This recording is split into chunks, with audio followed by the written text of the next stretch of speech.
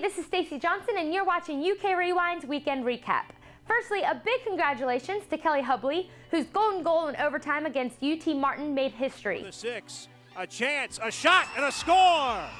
The Wildcats come through with a goal here in the first overtime period. It gave UK their first NCAA tournament win in program history and the first postseason win under Coach Lipsitz.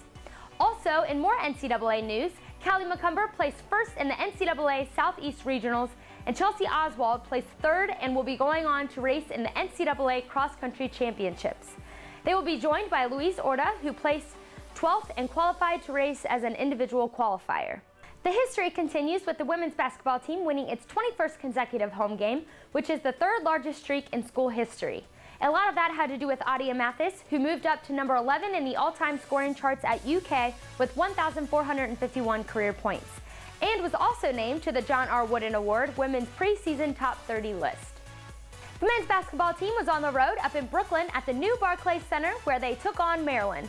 The Cats dominated the first half, but things got sloppy and Maryland tied it up 53 to 53.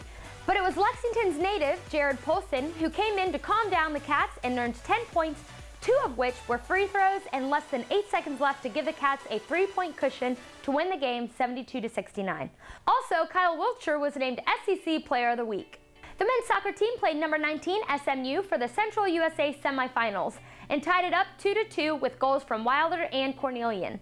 The game came down to a PK shootout where the Cats fell to SMU. The number 2 ranked UK rifle team took down the Navy this weekend, making their record 6-0 on the year with the help of Henry Young Hanel, who tied the air rifle program best of 597. This is Stacy Johnson reminding you to take a pause and check out the latest plays on UK Rewind. Also, follow us on Twitter at UK Rewind and at Kentucky Wildcats TV.